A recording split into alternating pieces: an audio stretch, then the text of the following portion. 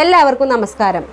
Test ടോക്സിന്റെ പുതിയൊരു എപ്പിസോഡിലൂടെ ഏവർക്കും സ്വാഗതം. ഇന്ന് നമ്മൾ ഡിസ്കസ് ചെയ്യാവുന്ന ടോപ്പിക്കാണ് നമ്മളിൽ നിന്നും അല്ലെങ്കിൽ നിങ്ങളിൽ നിന്നും ഒരാൾ കേൾക്കാൻ ആഗ്രഹിക്കുന്ന കുറച്ച് കാര്യങ്ങൾ. അത് ഒരുപാട് ഡീറ്റെയിൽ ആയിട്ടുള്ള കാര്യങ്ങളുണ്ട്. എന്നാൽ അതിൽ നിന്നും ഒരു ഏഴ് പോയിന്റ്സ് നമ്മൾ എന്ത് ചെയ്യാൻ പോവുകയാണ് എന്ന് ഡിസ്കസ് ചെയ്യാൻ പോവാണ്. അത് ചിലപ്പോൾ ചെറിയ കുട്ടികളോടാവാം അല്ലെങ്കിൽ മുതിർന്ന വ്യക്തിയോടാവാം നമ്മൾ സമപ്രായക്കാരോടാവാം. ഇതൊക്കെ ആരായാലും നമ്മളിൽ നിന്നും അല്ലെങ്കിൽ നിങ്ങളിൽ നിന്നൊക്കെ കേൾക്കാൻ ആഗ്രഹിക്കുന്ന കുറച്ച് കാര്യങ്ങൾ കുറച്ച് പോയിന്റ്സ് ഉണ്ട്. അത് ഏതെല്ലാം നമുക്കൊന്ന് നോക്കാം. അതിൽ ഒന്നാമത്തെ പോയിന്റ് ആണ് ഐ ലവ് യു ഏ ഐ ലവ് യു നോ എന്നൊരു ചിന്താഗതി നിങ്ങളെ മനസ്സിൽ ഓടി വന്നിട്ടുണ്ടാവും അല്ലേ? എന്നാൽ ഐ ലവ് യു എന്ന് പറഞ്ഞാൽ എന്താണ്? ഞാൻ നിന്നെ സ്നേഹിക്കുന്നു. ഞാൻ നിന്നെ സ്നേഹിക്കുന്നു എന്ന് പറയുന്നത് ഒരു തെറ്റായിട്ടുള്ളൊരു പ്രവണതയാണോ? അല്ല ഒരിക്കലുമല്ല. കാരണം ഞാൻ നിന്നെ സ്നേഹിക്കുന്നു എന്ന് പറഞ്ഞാൽ അത് ഒരു തരം സന്തോഷകരമായിട്ടുള്ളൊരു വാർത്തയാണ്. അല്ലെങ്കിൽ ഒരു മെസ്സേജാണ്. അത് ഒരു കുട്ടിയോടാണെങ്കിൽ അതിന് അതിന്റേതായിട്ടുള്ളൊരു സന്തോഷ പ്രകടനം ഉണ്ടായിരിക്കും. ഞാൻ എന്നെ സ്നേഹിക്കുന്നുണ്ടല്ലോ. അല്ലെങ്കിൽ നമ്മളെ സെയിം പ്രായക്കാരോട് പറഞ്ഞാൽ അവർക്ക് ആ ഒരു ബോണ്ട് എന്ത് ചെയ്യാൻ പറ്റും എന്നറിയോ അത് കൂട്ടാൻ പറ്റും. നമ്മൾ മാതാപിതാക്കളോട് പറയാം. അല്ലെങ്കിൽ നമ്മൾ സെയിം കാറ്റഗറി കിടക്കുന്ന വ്യക്തികളോട് പറയാം. നമ്മൾ സിസ്റ്റേഴ്സിനോട് പറയാം. ബ്രദേഴ്സിനോട് പറയാം. ഇവരോടൊക്കെ നമുക്ക് ഷെയർ ചെയ്യാൻ പറ്റുന്ന ഒരു ഒരു പോസിറ്റീവായിട്ടുള്ള ഒരു വേർഡാണ് എന്ത്? ഐ ലവ് യു എന്നാൽ ഇന്നത്തെ സൊസൈറ്റിയിൽ ഐ ലവ് യു എന്ന് പറയുന്നതിന് നെഗറ്റീവായിട്ടുള്ള ഒരുപാട് മീനിങ്സ് എന്ത് ചെയ്തിട്ടുണ്ട്? പരാമർശിച്ചിട്ടുണ്ട്.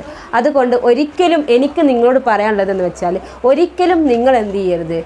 ഐ ലവ് യു എന്ന് പറയുന്നത് ഇന്ന് തൊട്ട് അല്ലെങ്കിൽ നിങ്ങൾ ഈ ഇൻഫോർമേഷൻ കിട്ടിയത് തൊട്ട് നിങ്ങൾ അതിന് ഒരു പോസിറ്റീവായിട്ടുള്ള ഒരു മീനിങ് നൽകാൻ ശ്രമിക്കുകയും മറ്റുള്ളവരുമായിട്ട് അത് ഷെയർ ചെയ്യാൻ നോക്കുകയും ചെയ്യണം.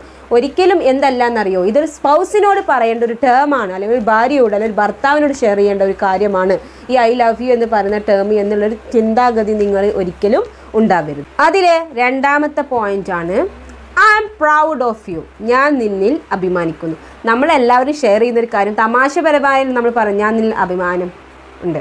അതെന്താണ്? ഞാൻ നിന്നിൽ അഭിമാനത്തിന് പകരം അപമാനം എന്ന് നമ്മൾ പറയാൻ ശ്രമിക്കാറുണ്ട് അല്ലേ?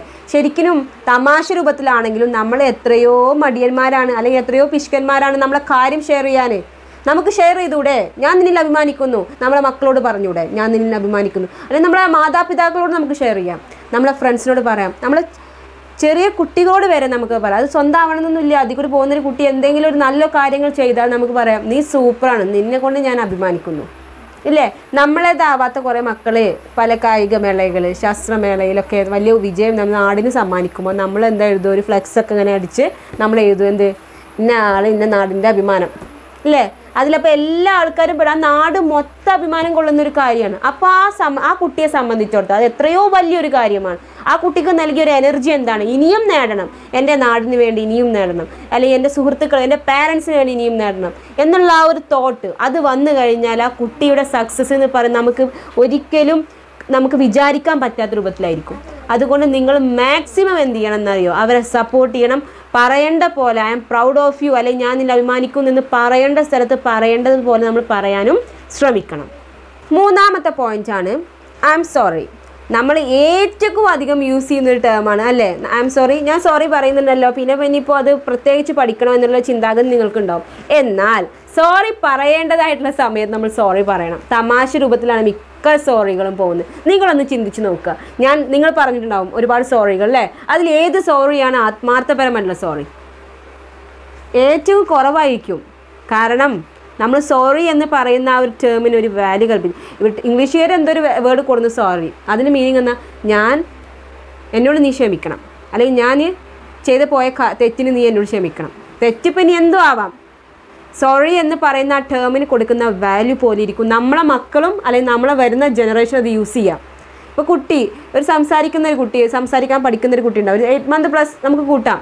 ആ കുട്ടി പെട്ടെന്ന് സോറി അല്ലെങ്കിൽ സോറി എന്ന ടേം എന്തെങ്കിലും വേണ്ടാത്ത കാട്ടി രണ്ടാം വയസ്സായ കുട്ടി സോറി എന്ന് പറയാൻ വരും അല്ലേ? സോറി എന്ന് പറയുന്നത് അവർക്ക് അറിയില്ല എന്താണ് അതിന്റെ വാല്യൂ എന്താണെന്ന്. അപ്പം നമ്മൾ പറഞ്ഞ് കേട്ടൊരു അറിവേ അവർക്കുള്ളൂ. അപ്പം നമ്മൾ ഒരിക്കലും സോറി എന്ന് പറയുന്ന ഒരു ടേം നമ്മൾ മനസ്സറിയാൻ പോസിറ്റീവായിട്ട് അല്ലെങ്കിൽ ആ തെറ്റ് ഇനി ആവർത്തിക്കില്ല എന്ന രീതിയിലായിരിക്കണം എന്ത് ചെയ്യാൻ അവരോട് പറയാൻ നമ്മളെ ജീവിതത്തിൽ ഒരുപാട് പ്രശ്നങ്ങൾ വന്നിട്ടുണ്ടാവും. അതിലൊക്കെ നമ്മൾ സോറി പറഞ്ഞാൽ പിന്നെയും ആ പ്രശ്നം ആവർത്തിക്കുന്നുണ്ട്. അപ്പോൾ അതുപോലെ തന്നെ നമ്മൾ ആ പ്രശ്നം ആവർത്തിക്കുകയും ചെയ്യരുത്. നമ്മൾ ആ സോറിക്ക് എന്ത് ചെയ്യണം? വാല്യൂ കൽപ്പിക്കുകയും ചെയ്യണം. നാലാമത്തെ പോയിന്റാണ് നമ്മൾ ഡിസ്കസ് ചെയ്യാൻ പോകുന്നത്. അതായത് ഐ ഫോർ ഗീവ് യു എന്ന് പറയുന്ന sentence I forgive you എത്രയോ സിമ്പിളാണ് ഞാൻ നിന്നോട് ക്ഷമിച്ചിരിക്കുന്നു. ഫോർ ഗീവ് എന്ന് പറയുന്ന വേർഡ് ചെറിയ ഒരു വേർഡാണെങ്കിലും നമ്മൾ പറയാൻ കാണിക്കുന്ന പിഷ്കത്തരം അത് എത്രയോ വലുതാണ്. എന്തുകൊണ്ട് നമ്മൾ ക്ഷമിച്ചിരിക്കുന്നു എന്ന് പറഞ്ഞ് പറയാൻ മടിക്കുന്നത്? എന്താണ് അതിന്റെ പ്രോബ്ലം ഒന്നാമത്തെ പ്രോബ്ലം ഞാൻ ക്ഷമിച്ചിരിക്കുന്നു എന്ന് പറഞ്ഞാൽ ഞാൻ താഴ്ന്നു പോകുമോ? അല്ലെങ്കിൽ അവൻ എന്നെക്കാൾ മുകളിലാവുമോ? എന്നുള്ള ഈ രണ്ട് മൂന്ന് ചിന്താഗതികളാണ് നമ്മളെ ക്ഷമിച്ചിരിക്കുന്നു എന്ന് പറയാൻ മടിക്കുന്നത്. അതൊരിക്കലും നല്ലൊരു കാര്യമല്ല. നമ്മൾ ക്ഷമിച്ചിരിക്കുന്നു എന്ന് തീർച്ചയായിട്ടും പറയണം. എങ്കിലേ ആ പ്രോബ്ലത്തിന് ഒരു സോൾവേഷൻ വരുന്നുള്ളൂ. അല്ലാതെ കുഴപ്പമില്ല എന്ന് പറഞ്ഞ് നമ്മൾ തട്ടിവിടും അല്ലേ ആ തട്ടിവിടലാണ് ഏറ്റവും വലിയ കുഴപ്പം. അത് ഈ പറഞ്ഞ വ്യക്തിയുടെ മനസ്സിലും ഒരു യാഥാർത്ഥ്യമായിട്ടുള്ള ഒരു മറുപടി ലഭിച്ചിട്ടുണ്ടാവില്ല. എന്ത്? ഞാൻ ക്ഷമിച്ചിരിക്കുന്നു എന്ന് മനസ്സുകൊണ്ട് ഒരിക്കലും ക്ഷമിച്ചിട്ടുണ്ടാവില്ല. വാക്കിലൂടെ പറഞ്ഞിട്ടോ ഉണ്ടാവുള്ളൂ. ആ പറഞ്ഞ കേട്ട വ്യക്തിയുടെ മനസ്സിലുണ്ടാവും അവന് ശരിക്കും എന്നോട് ക്ഷമിച്ചിക്കണോ? അല്ലെങ്കിൽ എന്റെ ക്ഷമാപണം സ്വീകരിച്ച് വളരെ ജെന്യൂൻ ആയിരുന്നോ? ഇങ്ങനെ കുറേ ക്വസ്റ്റ്യൻസ് വരും. അപ്പോൾ പ്രശ്നങ്ങൾ പിന്നെയും പിന്നെ എന്താവും? വഷളായിക്കൊണ്ടിരിക്കും. അപ്പോൾ നമ്മൾ ആഗ്രഹിക്കുന്ന കാര്യം എന്താണ്? നമ്മളെ പ്രോബ്ലം എത്രയും പെട്ടെന്ന് സോൾവ് ആവണം. അതിന് നമ്മൾ പറയാൻ മടിക്കരുത് എന്ത്? ഐ ഫോ ഗീവ് യു ഞാൻ നിന്നോട് ക്ഷമിച്ചിരിക്കുന്നു. ഇതൊരു പ്രായപരിധി ഒന്നുമില്ല. കുട്ടികൾ തമാശ കാണിച്ചാലും കുട്ടികളുടെ മനസ്സിലാണ് ഏറ്റവും അധികം ഇങ്ങനത്തെ ഒരു സ്ട്രെസ്സ് വരിക. എന്നോട് എന്റെ ഉപ്പ എങ്ങനെ ചെയ്തു? അത് ഉപ്പാന്റെ മനസ്സിൽ അത് ഉണ്ടാവുമോ? എന്നുള്ള ആ ഒരു തോട്ട് പ്രോസസ്സ് ഉണ്ടല്ലോ. അതാണ് അവരെ പിന്നെയും പിന്നെയും പിന്നെയും വലിയ വലിയ പ്രശ്നത്തിൽ എത്തിച്ചേർക്കുക. അപ്പം നിങ്ങൾ നിങ്ങളെ മക്കളോടായാലും അത് ഈവൻ ആരുമാകട്ടെ നമ്മൾ എന്ത് ചെയ്യണം എന്നറിയോ?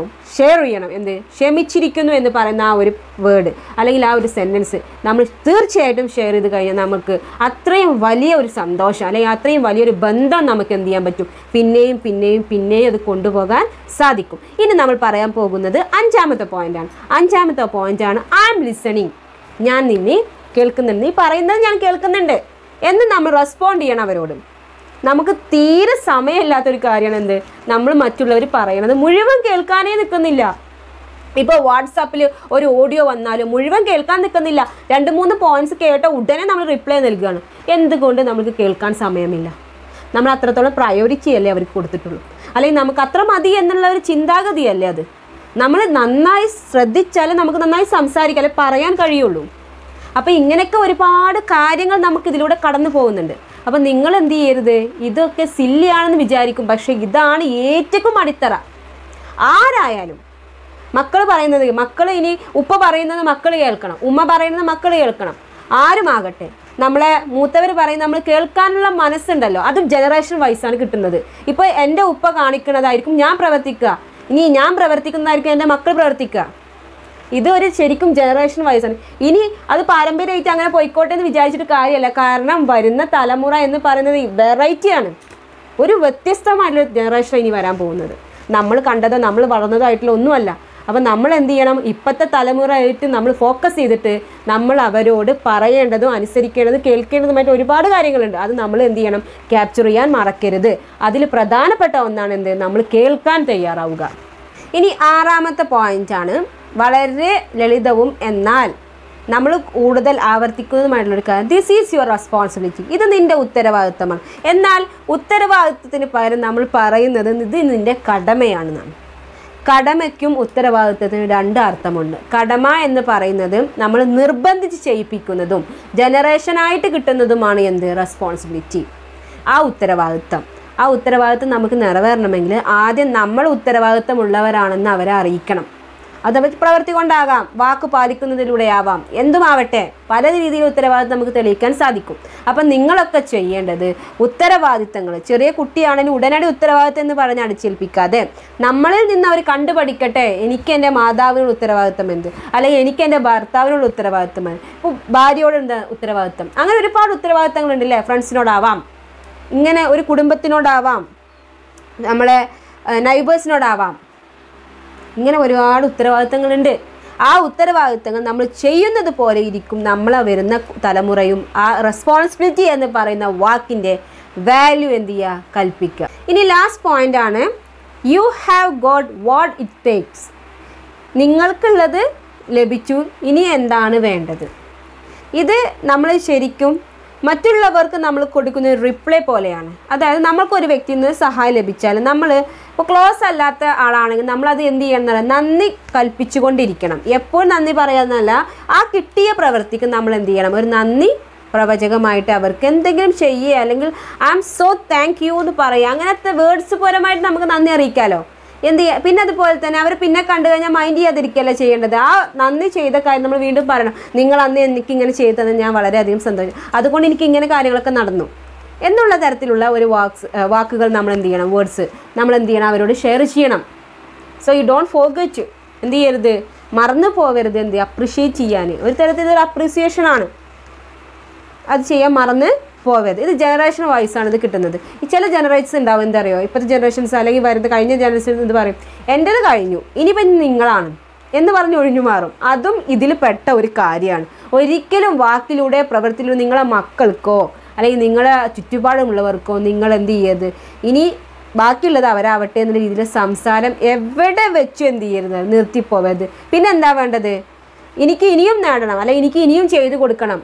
എല്ലാവരെയും സഹായിക്കണം. അല്ലെങ്കിൽ എനിക്ക് ഇനി ഒരുപാട് കാര്യങ്ങൾ ചെയ്യാനുണ്ട് എന്നുള്ള തരത്തിലുള്ള ജീവിതം വേ നമ്മൾ എന്ത് ചെയ്യണം? മുന്നോട്ട് കൊണ്ടുപോകണം. അപ്പോൾ നിങ്ങൾ ഈ ഏഴ് കാര്യങ്ങൾ നം എന്നിൽ നിന്നും അല്ലെങ്കിൽ നിങ്ങളിൽ നിന്നും നിങ്ങൾ കേൾക്കാൻ ആഗ്രഹിക്കുന്നതുമായിട്ടുള്ള ഏഴ് കാര്യങ്ങൾ ഒരിക്കലും ഇനിയിപ്പോൾ ഇന്ന് തൊട്ട് അപ്പോൾ അത് ഇൻഫോർമേഷൻ കിട്ടിയത് അത് ഈ അറിവ് ലഭിച്ചത് തൊട്ട് നിങ്ങൾ നിങ്ങളെ തന്നെ ഒന്ന് വിലയിരുത്തിയിട്ട് ഇതിൽ ഏത് കാര്യങ്ങളാണ് നിങ്ങൾ പറയാൻ മടിക്കുന്നത്? അല്ലെങ്കിൽ ഏത് കാര്യങ്ങളാണ് ഞാൻ ഷെയർ ചെയ്യാത്തത്?